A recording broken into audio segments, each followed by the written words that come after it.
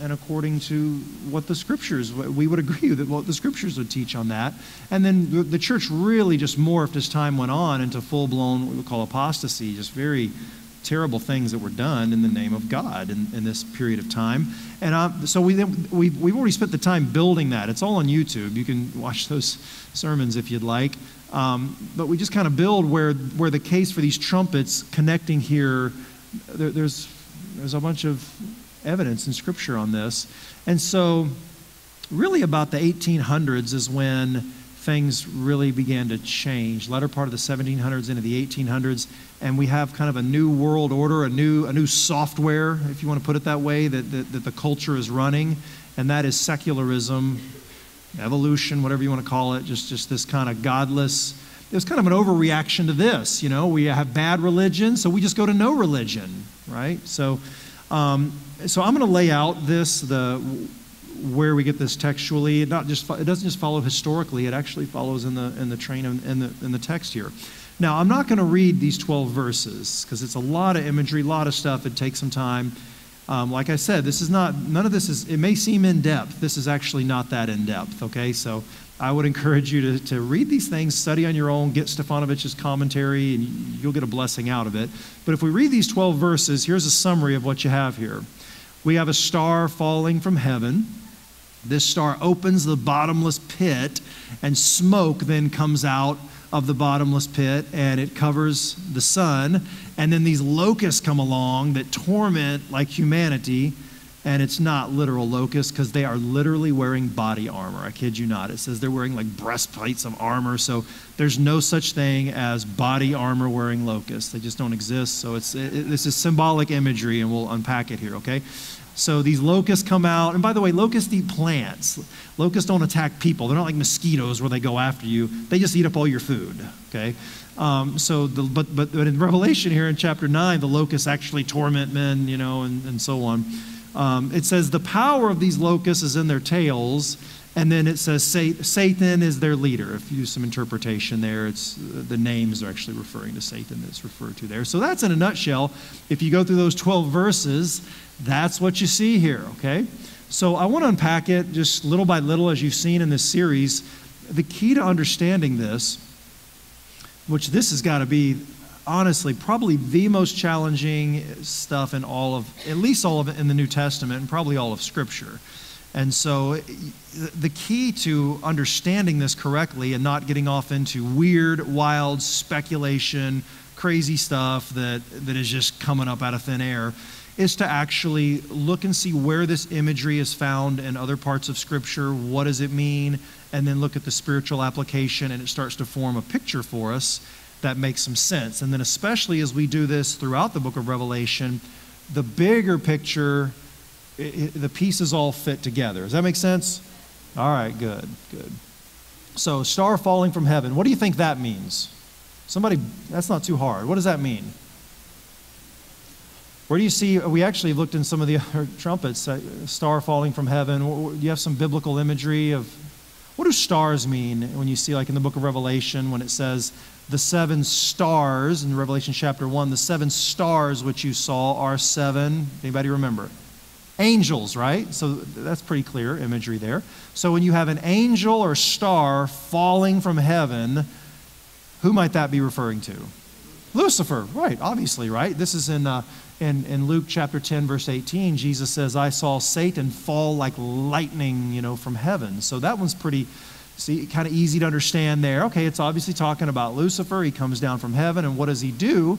He opens up the bottomless pit, or the abyssos in the Greek. Now, there's a lot of verses on this, but I'll just give you two of them for reference here Jude 6, 2 Peter 2, and verse 4.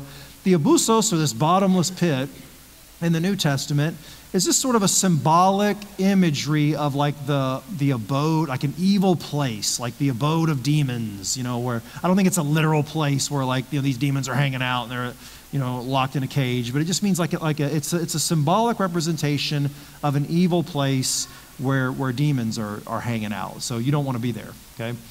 So, star falling from heaven, he opens up this kind of this abode of demons, and, and, and then this smoke comes out, like, like this demonic plague, you know, comes out here, and it covers the sun. Now, we looked at some imagery actually in the fourth uh, trumpet last week, where we looked at the sun, the stars, the moon, those things that give light, and there was a partial obscuring of those forms of light in the fourth plague, well, or, or fourth trumpet, and we get to the fifth trumpet, and it's just, it's not partial, it's full. Okay, it, it just it turns dark. So there's a blotting out of the sun. What do you think the sun or giving light in this world might represent? Well, yeah, let me give you a few verses here. Uh, Malachi 4 and verse 2, it's an Old Testament reference. It says, But for you who revere my name, the Sun of Righteousness will rise with healing in its rays. Let's look at this is from New Testament uh, uh, era, era. This is Jesus speaking, John chapter 8. He says, I am the light of the world. I never thought of it this way before as I looked at this, but actually, what physically gives light to the world? The sun does, right? The reason you could, we could turn the lights out here and still see each other, but we couldn't do it in 12 hours is because the sun is out. The sun literally gives light to the world. Okay?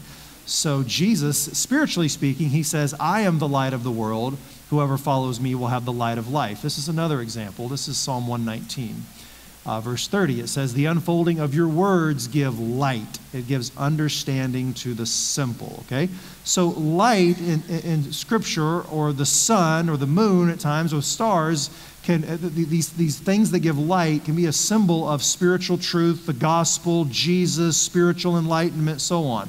So, think of it this way as this, as the star is Satan falling from heaven it opens up this bottomless pit where the you know the, the, this, this where these demons are. And and then there's this there's this where, where before this there was this partial obscuring through this era of apostasy right? Because apostasy changes the way we view god and so it kind of obscures his character. You can see him but it's not fully clear when we get to this one it's just boom kind of blotted out right that's what if you ever seen like a real smoky day you can't see very well because it it covers. There may be some light coming through, but, but not really here, okay? So uh, this, is, this is about spiritual darkness, bringing spiritual darkness upon the world. So kind of broke up those three there. Now I want to go to the last three and, and unpack this imagery here. Okay, so locusts um, tormenting those who don't have the seal of God. Okay, so locusts are just a common biblical symbol for judgment. I gave you some verses there, but there's a lot of verses we could go into. Actually, if you look at the the, the exact wording of, of Revelation 9 that we're looking at here and in Joel 2. That's really the parallel passage, but I'm not going to go there for the sake of time. But just look at it big picture this way that locusts are a symbol of, or put it this way, when God's people were unfaithful to the covenant, then part of the judgment upon them or the punishment was you know, multiple things will happen, and one of them, locusts will come and eat up your crops. Okay, so that's kind of the, the background here. And so I'm going to quote uh, Dr. Stefanovic here, and I agree with his interpretation on this. He says, The fact that the locust of the fifth trumpet come out from the abyss, the prison abode of the demonic forces, suggests that they are symbols. Remember, they're not literal, right? They're wearing body armor and they're attacking people. That's not real locusts, okay? That they are symbols of demonic forces which were temporarily confined and are now unleashed to do their harmful work. Okay. Now, notice some group of people on earth, though, are protected from this. And it says, those that have God's seal. All right, we're going to get to this in a moment. I'm not going to go there now. And then it says that these locusts are this, this symbolic representation of this, uh, of, of this demonic action that is, that is darkening the truth, the spiritual light that would come upon the world through Christ is darkening this. People can't see it, and so therefore they're tormented because of this. It says that, that the power is in their tails. Now, what does that symbolize? I'm going to give you just two verses here on this. This is from Isaiah chapter 9, verse 13. it's a similar situation when God's people in the Old Testament had been unfaithful and been led astray by false prophets, and therefore they were suffering because of that, the consequences of that, okay? So this is Isaiah 3, or excuse me, 9, verses, verse 13. It says, But the people have not returned to him, nor have they sought the Lord Almighty. So the Lord will cut off Israel, both head and tail. And then it tells us what that imagery means, okay?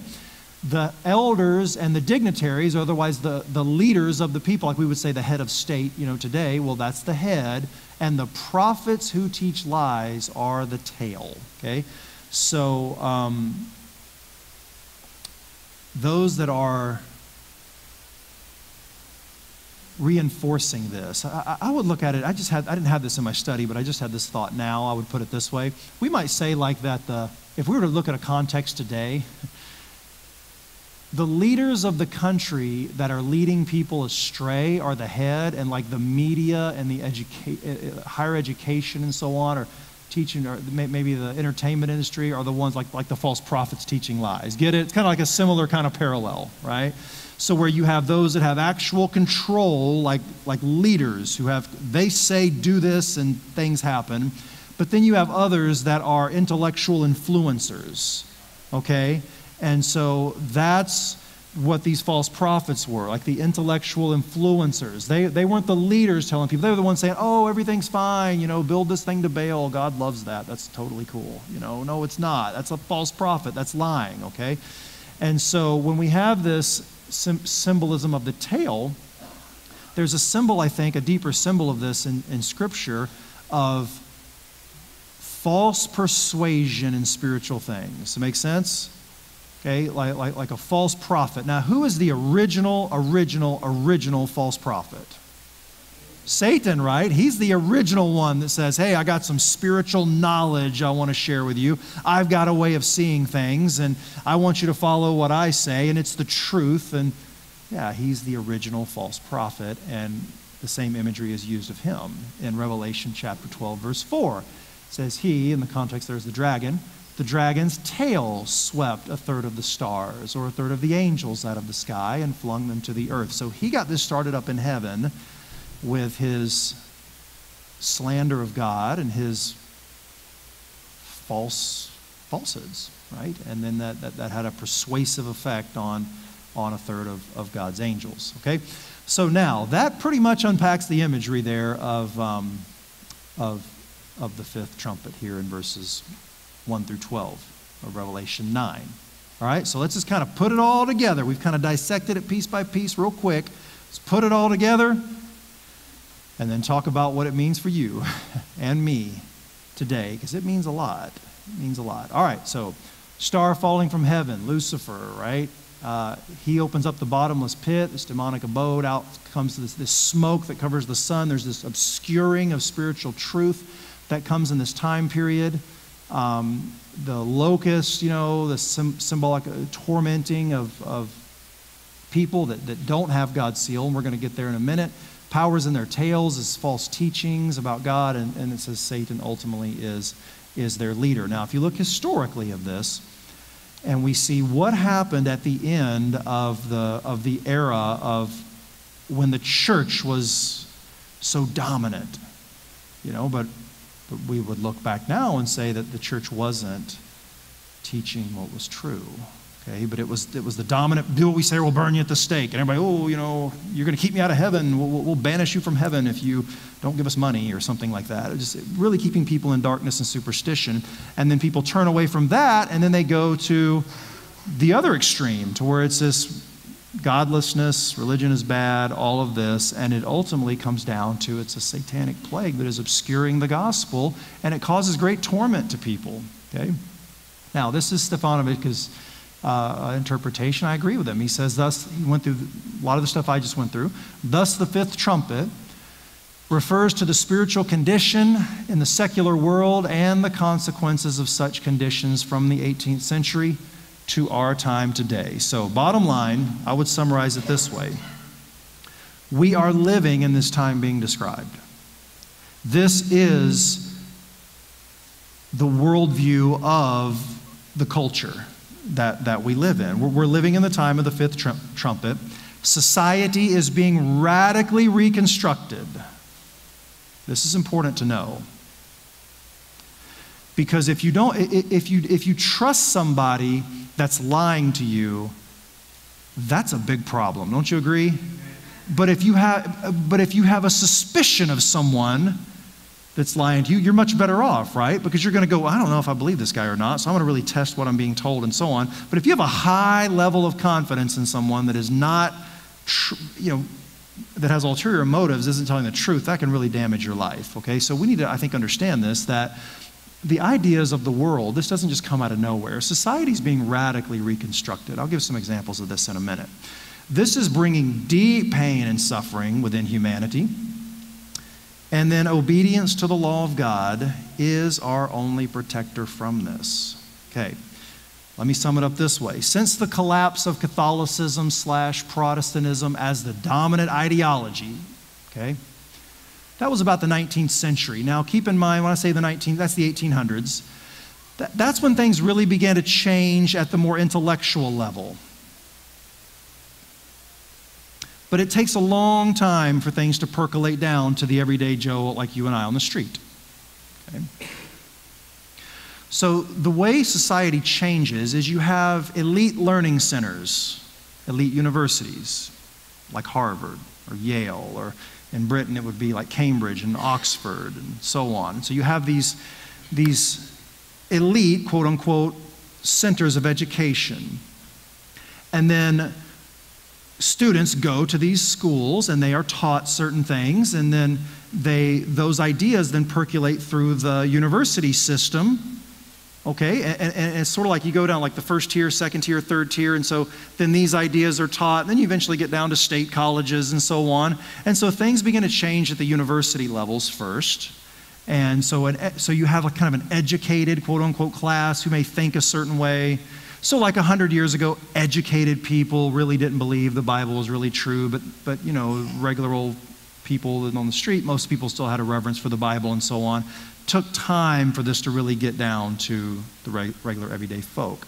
And that happens through education because these teachers in the elementary schools and middle schools and all are learning from professors who learn from professors who learn from professors, and it goes all the way up. Also, through the media and through just popular entertainment, these ideas are, are shared. And so, what it does is it creates a false reality for people you can see how rapid change can come in. I'll give an example. I don't know if I should give this example because these are sensitive issues, and I, I'm going to touch on the issue in a minute, but I don't want to be, whenever we're dealing with things on a micro, a micro level about individual people or a macro level. So let's say I talk about an issue like, say, divorce on a macro level, the impact of the sexual revolution and divorce on society, and I talk about that on a big picture level. Well, the rest of people here would be like, well, you know, maybe I slept around back in the day, or maybe I got divorced, or different, you know, we're talking micro. So I always want to be careful that I'm not insensitive to people on particular issues when you go macro on things. But I want to go macro on something that I think we all can relate to. If you look in just, our, just in my lifetime, and I still think I'm fairly young, maybe I'm wrong, but I still feel kind of young. Um, huge change in sexual orientation and so on. Bam! Just incredible change, incredible change in, in a life in just 10 years, 15 years.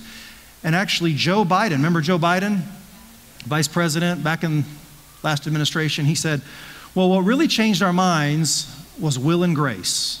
That's what changed. Right. So he's admitting there that there's so, so there's an enter, entertainment can change the way you think about things. So do you see how you can have some pretty radical reengineering of people's thinking in a very short period of time when you have um, universities on board with something and popular media and, and so on, it, it, can just, especially when you have young people coming up today that just marinate on this stuff, you know, watch movies and television and videos and so on.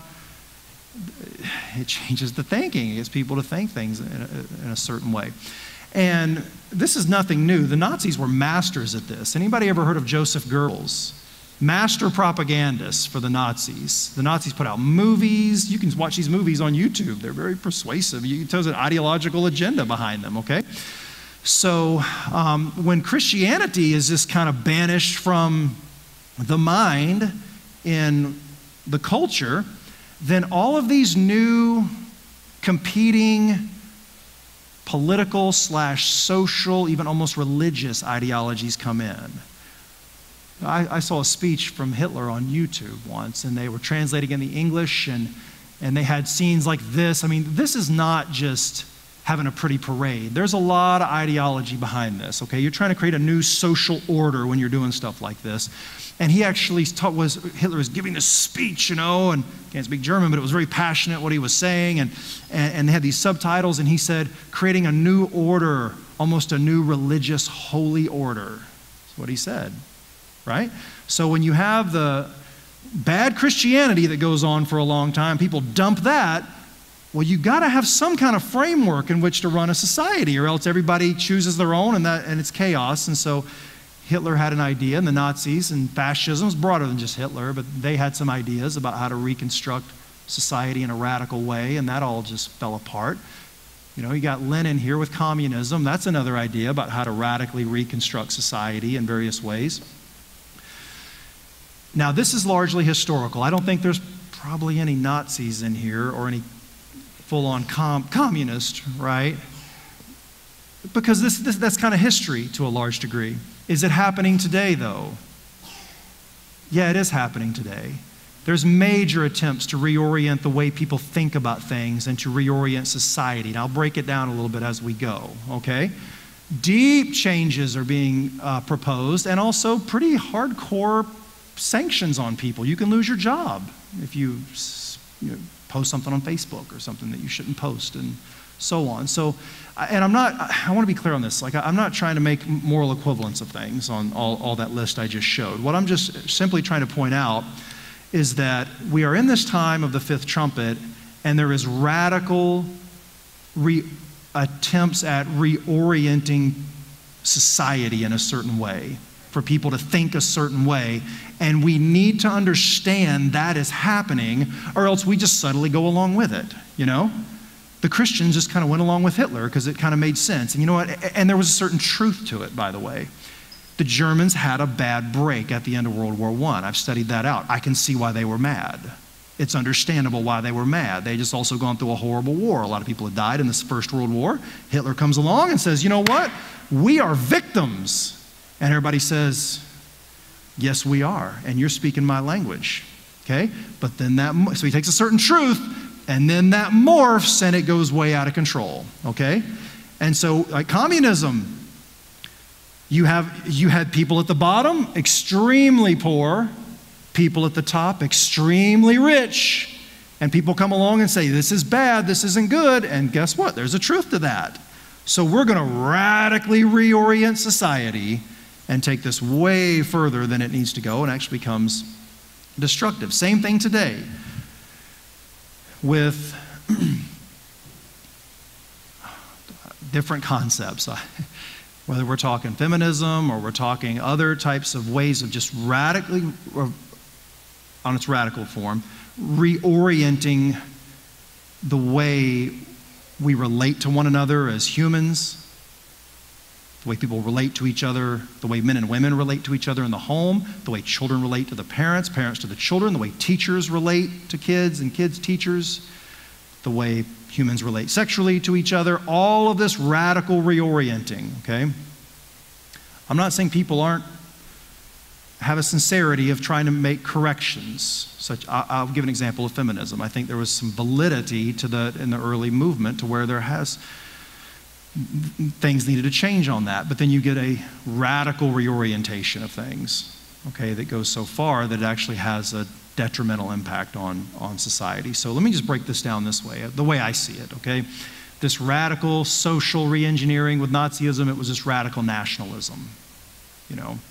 Essentially, an inter European race war was what that is. It wasn't just the Germans, it was Croatians and Serbs and people just killing each other, Poles and Ukrainians. It just was, it, it was this radical nationalism that, that came in, kind, of, kind of rising up again today in the world. Uh, with communism, uh, economic slash social, it, communism wasn't just an economic theory, but there was a lot of social theory behind it as well.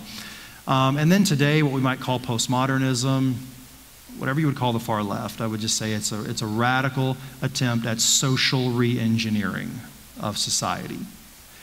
And we need to be aware of this so that we're not subtly going along with this because it says in the text we just read that this torments people.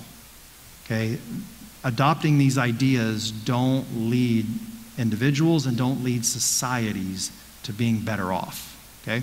So, who's protected during this time? This is verse 4 of Revelation 9. It says they were told, the locusts, not to harm the grass of the earth, any plant or tree. We've already studied this, and I've shown that that's a symbol used throughout Scripture of God's people. Okay? But, but who? God's people. Like half the world says I'm Christian. Is, that what it's talking about? It says only those are harmed who do not have the seal of God in their foreheads.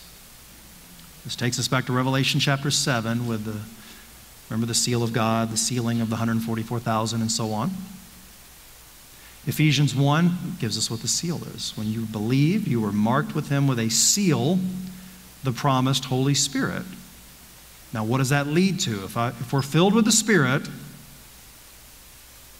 does that lead to huge levels of excitement running around? Or what does that really lead to if you're filled with the Spirit? We'll get a biblical answer here. Ezekiel 36, it says, I will put my Spirit in you, and then here's going to be the outcome of the Spirit being inside of you. And move you to follow my decrees and be careful to keep my laws. Okay? So, obedience to God, trusting Him, not following what everybody else is doing, and being faithful to Him is what is the sign of the of having the Holy Spirit or the seal of God planted on the inside. Now that has a specific manifestation in the last days, which we'll get to another day. But we can sum it up here in Revelation 14 11. So those that are have the seal of God aren't experiencing these, the horror of these things that this fifth trumpet's describing. It says, Here is the patience of the saints. Here are those who keep the commandments of God and the faith of Jesus. Right? Those two going together. Got faith in Jesus, so I'm going to keep the commandments. I am not going to be goose stepping, commie fisting, marching in nothing. I'm just going to be humble and following Jesus, is the attitude of people, right? And no matter what, what the next one is because I could get on more. By the way, there's right wing versions of this too, just on the left side, okay? I'm just having to blow through things quickly, but I just want you to see that, that the world's always, I wouldn't call it a flavor of the month because it isn't a month, but the world will typically have like a flavor of the 50 years, right? We're going to try this now until we've done this long enough to see, well, that didn't work out too well. Now we're going to try this and do this for about two or three generations. That didn't work out too well. If we're just anchored in Christ, following the scriptures, Jesus same yesterday, today, and forever. Right? We don't have to just get drug along with whatever the new ideology is that's going to make this world a better place. Okay? It's just not, it's not our thing. So, as the world goes crazy, which I think it is, my humble opinion, the only protection is to trust and follow God's ways and God's laws. I want to point that out. Following God's commandments, not man's. It's more than just saying, I'm a Christian and I believe, and I don't, I don't, I don't like some of the stuff on TV. It's more than just that, having kind of a general sense of things. It's actually obeying and doing what He says, okay? Following His ways and not, not the world's ways. That's our protection. Now, I'm going to give you a quotation or two. This is from Aldous Huxley. You ever heard of the Huxleys? Yeah, the Huxleys were like a, like atheism was like a family business for the Huxleys. They were back in the days of Charles Darwin. The, the, the, the patriarch of the family was known as was uh, was Darwin's bulldog. He was he was very um, very very passionate debater in favor of Darwinism, secularism, and so on. And these ideas actually, um, well, Darwin was British. And, and, and this kind of secular, the, the, the, kind of ideas that are, that are so dominant in our culture today really have their roots about 150 years ago in Britain. Okay, if you want to look where the, the genesis is, and it kind of builds out from there. And one of those guys, one of the Huxleys, he made this statement. I thought of it as I was putting this together. Um, well, well, let me show you this one first, okay? He kind of gives his motive here. He says, We objected to the morality, meaning the old Christian morality. Now it's, it's the, the immorality is just mainstream now. But back then it was, you know, you were expected to behave yourself and not sleep around and, and get married and do all that, right? That was the expectation, not, not anymore. Um, to go back on this, I actually had a friend, was a pastor. He grew up an Adventist, so he grew up, you know, his dad was a pastor, and he's a pastor, so he's always been in in, uh, you know, in, in, in a different environment than the world, so to speak. And he said to me one time, he said, Man, I had a moment that really made me realize I think our world is really messed up. So they were looking to adopt a child, and the, um, the social worker who interviews you, right? You know, you got to get these interviews, and they talk to you, and you know they want to make sure they're just giving a child to anybody. They asked them about their their sexual history, both him and her, and they said, "Yeah, we've only been with each other. We got married, and we've only been together." And that was like a red flag for this person. The person said, I have done, I have had these interviews with like hundreds of people and no one's ever told me that. So something's weird here. You guys are like weird. Something's up here. So the person was kind of like, I don't know about you guys a little bit, you know, like something's off here. So they had to convince this person, no, we're not like in some weird group or whatever. We're just like Christian people, and that's kind of how things went, you know. And he said, Man, that really kind of opened my eyes to what's going on in the world, you know? It's true. It's very, the, the world has radically changed from the time period that he's describing, okay? The morality he's, that Huxley's describing here. He says, We objected to that old Christian morality. Why? Why'd you do that? Why'd you do that, Aldous? Because it interfered with our sexual freedom and justifying ourselves in our erotic revolt, we would deny that the world had any meaning whatever. Just, hey, if you see yourself as an animal, might as well behave like an animal. If you see yourself as a highly evolved animal, there's not really more, a moral element to it. Just, just do as you please. Now, he wrote this thing over 100 years ago. We've had a lot, many generations of this kind of thinking. But notice what, what he said, too, and a little later in life. You shall know the truth, and the truth shall make you mad. Now, he's using mad in the British kind of context, like crazy, not like we, I, I, got mad the other day, right? That's more American. Mad to them, he's saying it like the truth shall make you a madman or crazy, right? So it didn't, it's true, huh? It's true. Jesus said, You shall know the truth, and the truth will make you free. Lies will enslave us. It won't set us free. Okay. All right, this is Proverbs 13, verse 15. It says, Good understanding gives favor, but the way of transgressors is hard. Right? So that's where this, it says these, the, the, there's this torment that comes with this fifth, fifth uh, trumpet, you know? And I found this statement from Thoughts from the Mount of Blessing. I love this. It says, In obedience to God's law, Man is surrounded with a hedge and kept from evil. So, do you want to be surrounded with a hedge and kept from evil? Here's how obedience to God's law, not having some ill defined, you know, kind of quasi religious sentiments. I kind of like church. You know, you want to go to church today? I don't know. I'm thinking about it. You, I don't know. No, obedience to God's law. It's a different mentality. What God says, I do, period. That kind of mentality okay, does something for us, right? Where, where we're approaching this not as a hobby, but as a deep commitment like a soldier has to a cause. That kind of commitment, okay? It says obedience to God's law, man is surrounded with a hedge and kept from evil. He who breaks down this divinely erected barrier at one point, right? You don't have to, you don't have to go full on and just say, I'm going to see if I can just do 100 things to ruin my life. It can just be one. It can just be one. You steal from your boss once, you can lose your job. You can't say, oh, but I do everything else good. You see what I'm saying? This is important, right? It's important. You can ruin your marriage, ruin your job, ruin your life just on one point, okay? So he who breaks down this divinely erected barrier at one point has destroyed its power. This, this, this barrier of obedience has power to protect us, okay? For he has opened a way by which the enemy can enter to waste and ruin. Hey, if you're single, I want to recommend a book to you. Choosing God's Best. Somebody gave me that book years ago when I was single. I read it. Whoa, that blew my mind. It was a great book. It's about how messed up the whole dating culture is in, in the world today, and it's damaging to people. So people enter marriages a lot of times very damaged of my generation, even baby boomer generation, my generation underneath, because there's been a lot of messed up ways of approaching relationships before that because of all this stuff. And so there's a lot of damage that has gone on, and then, and then it, it creates a lot of pain and suffering and struggling. Check out Choosing God's Best or get it for somebody that's single. It's a great, great book. But the author of that book, I remember this so clearly. It was like, wow, bam, light went off in my head. That makes sense.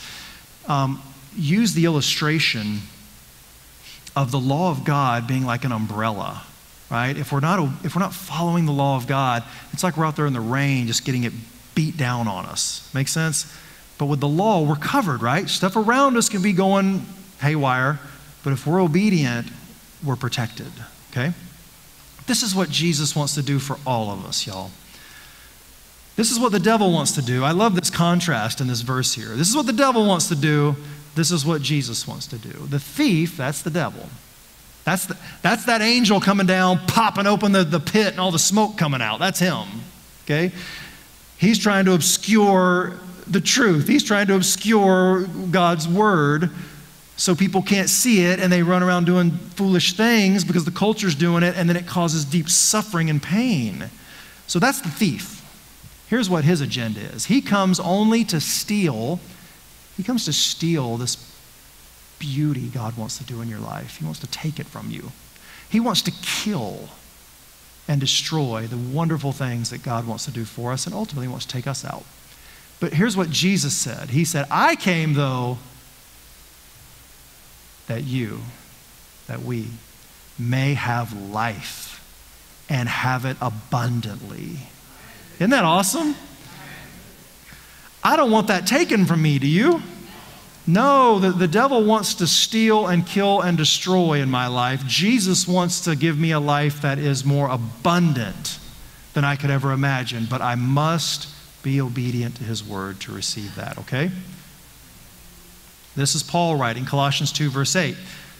I would say this to all of us living in this world with all these ideas running around out here. See to it that no one takes you captive. Remember, these ideas bring slavery okay?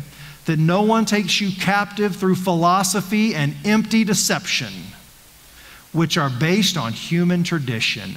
In other words, what everybody else thinks, okay?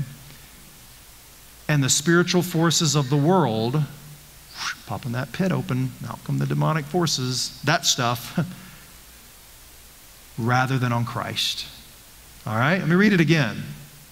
See to it that no one takes you captive through philosophy and empty deception, which are based on human tradition and the spiritual forces of the world rather than on Christ. Okay? Just keep looking to Jesus, follow his word. He's given us 10 commandments, they're real simple. So people say, oh man, the Bible, so many books, I don't know what to follow. Exodus chapter 20. You can just read those 10 right there and follow those. You'll be in good shape.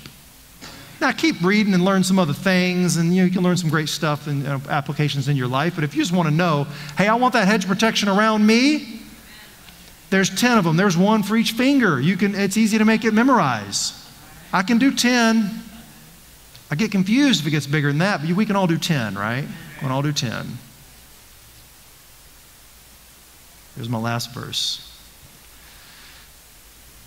where there is no revelation, or where, that, where, where, where it's darkened, the people cast off restraint. That's the culture we're living in today. Casting off restraint. And there's consequences that are painful for that to our society, to our culture, and to us individually. But blessed is he who does what? Come on, church, don't be all wimpy about it. Blessed is he who? There you go. Keeps the law. Amen. Blessed is he who keeps the law, right? We live in an age where there's people are just casting off restraint, and we don't need to have a negative attitude toward people in this culture, by the way. I just want to get a little preachy on that for a minute. You know, Jesus didn't have a negative attitude about, the only people that I see Jesus having a negative attitude about when I read the Gospels are the self righteous people. He didn't seem to like them very much. He would speak pretty sternly to them but the prostitutes, the tax collectors, the people that were, you know, messing their lives up through sin, he didn't have this looking down on them attitude, right? Was very compassionate toward these people. And the fact of the matter is, we've been these people. Maybe, maybe still are these people. I don't know. I hope not, because it brings a lot of pain in the life. So here's the bottom line I think we need to be the people that are saying, you know what, I'm going to have faith in God, and I'm going to I'm going to live that out, and I'm going to do what the good Lord says, and I'm going to see what Jesus does in my life and the healing he brings in my life and the, and the blessing he brings. And then all these people around me that are, are doing the cast off restraint thing and they're experiencing the pain that comes from this, I'm going to say, let me tell you about the healing I've found from all this pain. And it's following Jesus and doing what he says. And people say, really? And we say, really? Let me tell you more about it. Amen? That's all I got. That's the fifth trumpet. I guess I don't need to say any more, but I will. In all seriousness, especially to those that are young, if you're in high school, if you're in college, you're in a, you're in a world that's, that, that's really going to really come after you intellectually. Okay? You may not be able to refute every argument I can't, Satan's smarter than me and he's smarter than you. But you can follow Jesus and you can experience Jesus in your life, okay? And that testimony is all you need to have and all you need to know, okay? When the, when the blind man was, made, was, was blind and he got his eyesight back, and they said, and they were, in, and they were saying to him, look, how did this happen? You were born blind. Tell us this, tell us that. The guy finally said, I don't even know the answers to none of this stuff. I just know I used to be blind and now I can see. Amen. And Jesus did it, okay? You don't have to argue with people and have all the answers to all this stuff, right? These are complicated issues that I'm glossing over here, but at the end of the day, we can just simply know Jesus, have an experience with Jesus, and say, I know Jesus. And if somebody's saying something that doesn't jive with Jesus, I just know that's wrong. And it ain't my job to create a big argument over it. It's just my job to do what God tells me to do. Amen? All right. Father, thank you so much that in this world where there is a, like a darkening of the gospel in, in our culture, in our wider culture, that the gospel light still shines brightly here upon those who are seeking you. I pray that would be all of us here, that we would seek you with all of our hearts and that we would find you and find the healing fountain that you give to the hurt and weary human soul.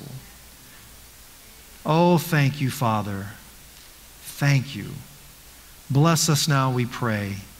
In Jesus' name, amen.